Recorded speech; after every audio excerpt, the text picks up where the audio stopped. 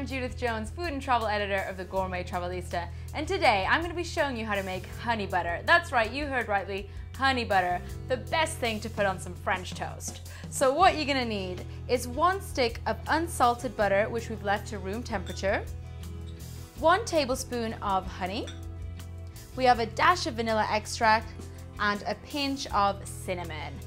So we have an electric hand whisk here to do some of our muscle work for us. So first things first, let us put our butter into the bowl.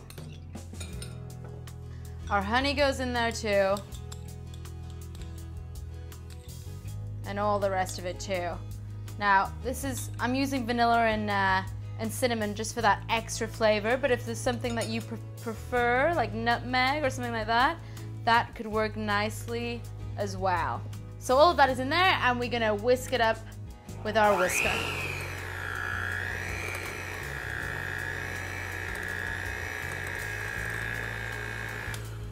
So about a minute should do it.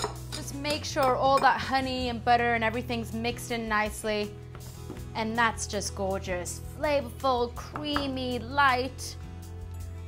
We'll pop that into a little bowl right here. So all of that has gone in there. Now, all you need to do is cover it with some saran wrap and you can put it in the refrigerator. Make sure it goes in for at least two hours before you use it, um, or it can last up to two weeks, so that's great. And this is just gonna work great on French toast, as I said, biscuits, cornbread, um, a scone. It's really gonna impress your guests when you come out with a little bit of honey butter. So that's it. That's how you make a very simple and quick honey butter.